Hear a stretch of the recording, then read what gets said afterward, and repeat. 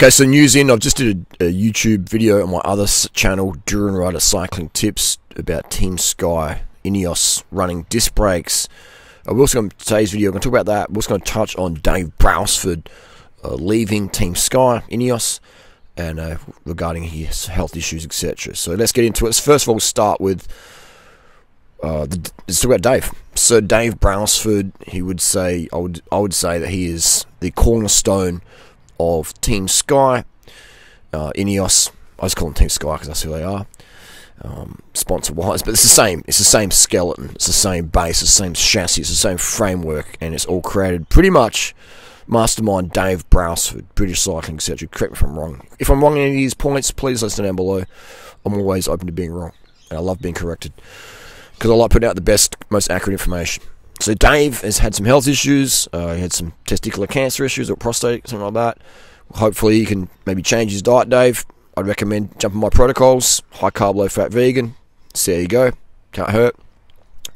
Do the best you can. Also, he's had some heart issues as well.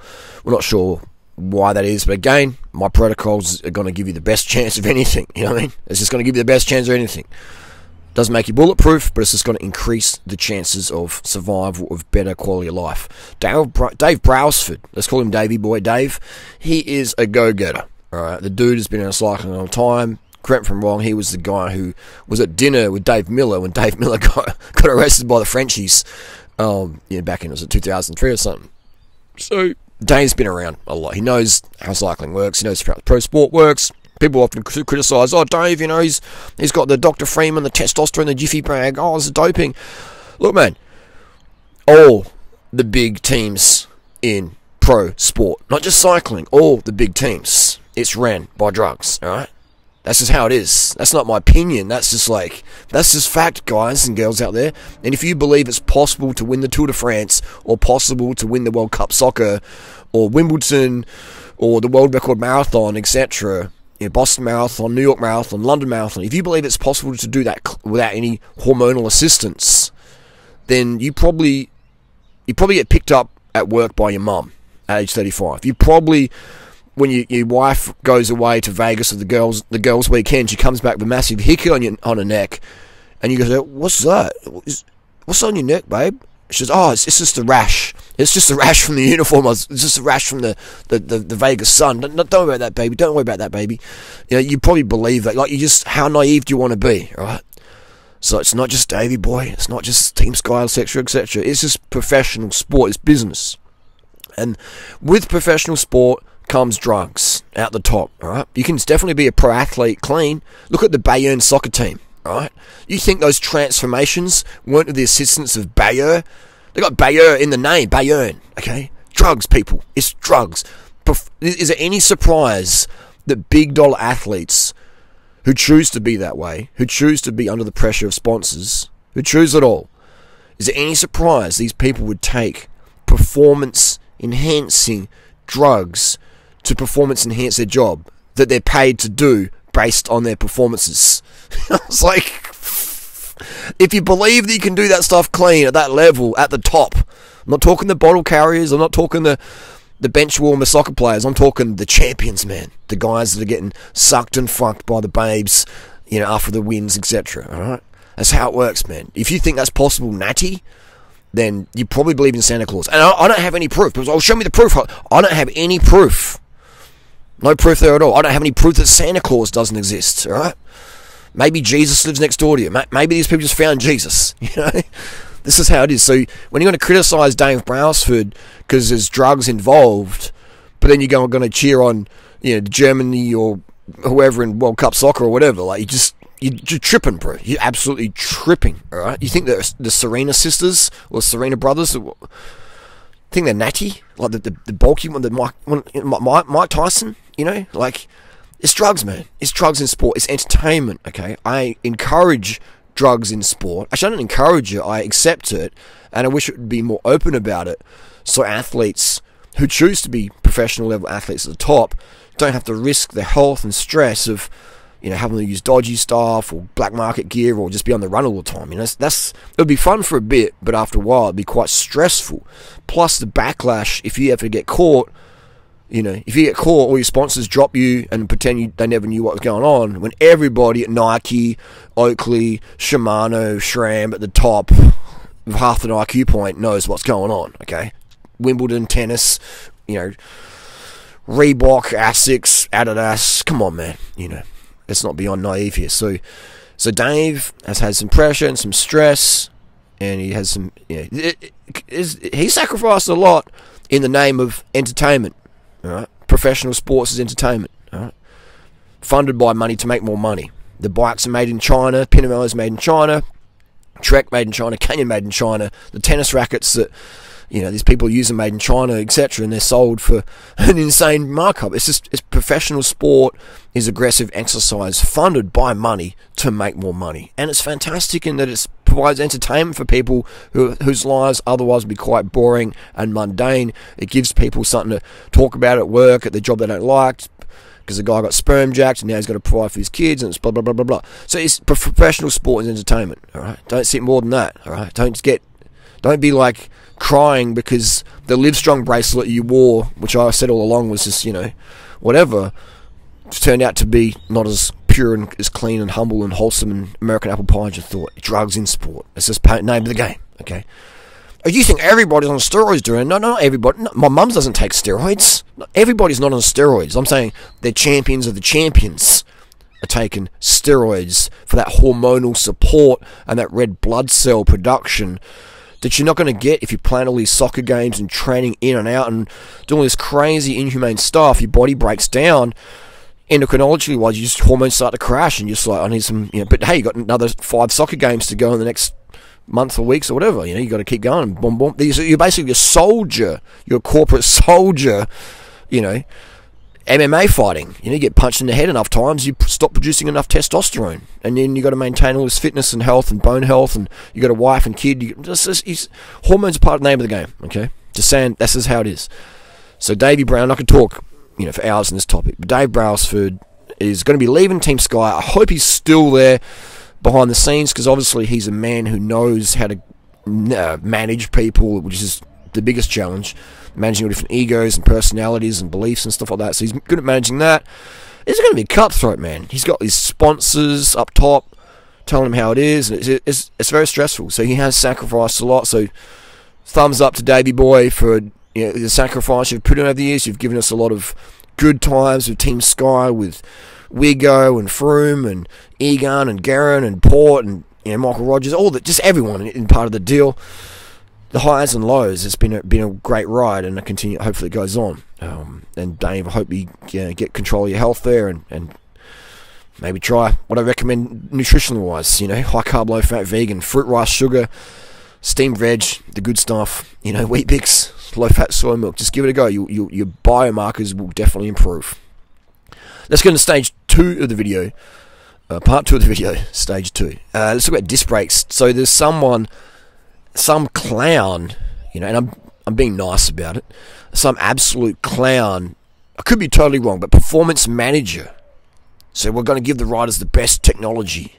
We're going to give them disc brakes. There's not one single professional rider out there, world tour rider out there, who says, "Uh, uh, Daddy, can I, can I have disc brakes on my bike? I can't. These Dura Ace calipers, they don't stop well enough." Zero world tour riders are saying that. I, I wish the brakes were better. You know, I remember, you know, I won't mention names, but I remember a certain cycling team. A lot of professional riders, world tour riders, come to me in private and tell me stories. I don't. I might share the story a little bit, as long as it's not going to, you know, incriminate the rider who's told me. There's one story I can share though. Um, I won't mention names or teams or names of product, but he he says, I said, how's the bike going, man? It's a good bike, but these brakes, these brakes are shocking. He goes, I don't know why they gave us these shitty brakes, you know. But hey, you know, we hardly use our brakes anyway, so it's not too bad. And he's a very, very successful world tour rider. Um, you know, he's telling me this, and uh, and as I say, why are they putting these crap brakes on there? You know, they're just some cheap rim brake caliper brakes. I'm just like, this just doesn't make any sense. But then again, he, he still had a very successful season that year, so the brakes weren't holding him back too much. But nobody out there in the world tour is going, I've, I've only got Shimano calipers. Can you give me something better? No one's no one's complaining about that. Okay.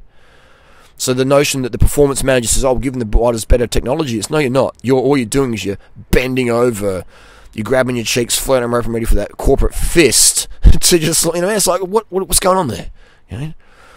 And hey, if you're in that stuff, that's okay. But I'm just saying that as a performance focused person myself, disc brakes make zero sense in the world tour. Zero, zero, zero sense. All the noobs out there go, oh, but you can brake better in the wet. Look at all the crashes that are happening because of disc brakes in the world tour. Do you realize how fast these riders go? Unless you're trained with World Tour riders, and I have with over probably a thousand riders during Tour Down Unders over the last 18 years, the, the speeds that some of these riders go down, just in training, is is incredibly dangerous, it's incredibly risky, but they don't use their brakes much at all, alright? And when you do have to use brakes and you go on that speed, especially in the wet, those disc brakes can lock up so easily because they're on off. There's not much modulation. On the mountain bike, it's a bit different because you got they just the servo is different and you got fat, fat tire and it doesn't matter if your rear wheel locks up on the mountain bike or the gravel bike or the cyclocross bike it's fun if your rear wheel locks up or your front wheel locks up on the road bike you're in dangerous territory all right and just just go and watch the Giro or the Vuelta in the wet even in the dry these riders are disc brakes just grab a normal amount of brake and all of a sudden the rear wheel locks up front wheel locks up and they crash that doesn't happen with rim brakes because there's better modulation there's better feel Dis- road disc at World Tour is very, very dangerous. Obviously, the riders can't really speak out about too much because of sponsors, but anyone can go watch the Netflix documentary of Movistar and see how they're just trashing on the disc brakes. I guess this is stupid. I'm surprised that sort of went out there. But even that video wasn't deliberately trashing disc brakes like overtly. It was sort of around the bounce, you know, read between the lines. So that's the deal there. So Team Sky going disc brakes. It's you know got got on the Ineos Grenadiers uh, Grenadiers Instagram page, and people are, like, oh man, this is this is the end of cycling as we know it.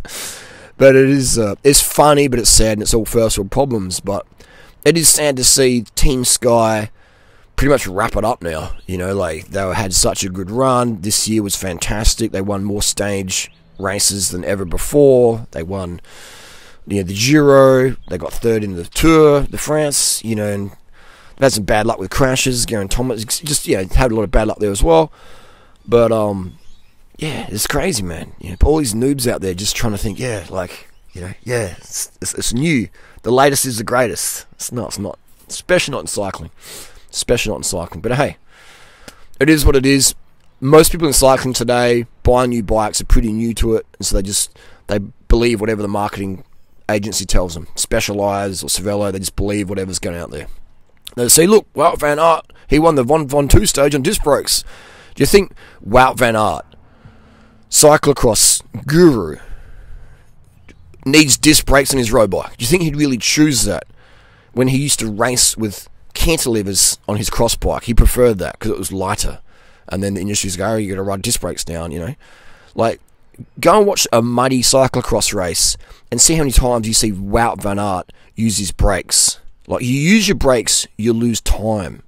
That the person in cyclocross, literally, who has the most power and who uses the brakes the least, right, holds speed through the corners, rails it, just you know, wins. Okay, wins. So yeah, just again, most. But here's the thing: here's where cycling marketing get away with it.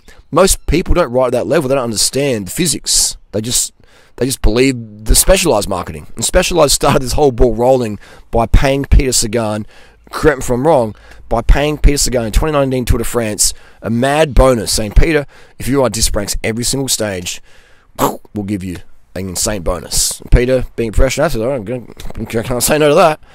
And then it started from there because Peter Sagan back then had so much pull, so much marketing pull, and uh, yeah, understandably, and, and, you know, he, he, he deserved that and got that. But yeah, that's what started the whole thing. And then now, disc brakes. Oh, disc brakes are better. You know, you, you save. I don't have to spend two thousand dollars on carbon rims anymore because I can just use my rotors. I can just chew through rotors, sixty pounds each or whatever, sixty dollars each. If you're paying more than two hundred dollars USD for high-end carbon rim, you're paying way too much. Plus, you have the expense of actually buy a whole new bike. If I want a sub seven kilo disc brake bike, I have to spend about $20,000 Australian. 15 to, 15 to 20 grand to get a sub 7 kilo with pedals disc brake bike. If I want a sub 7 kilo with pedals rim brake bike, I can get one for a thousand bucks. You know, thousand bucks, give or take, Australian second-hand marketplace, mint condition, SL three, four, five, etc. SRAM red, you know, sub seven kilo, thousand bucks, mint condition. So you know, it's just it doesn't make any sense anymore. But anyway, that's the video. Dave, hope you do well, mate. And uh, in terms of disc brakes, just yeah, wow. Anyway, end of end of a great era.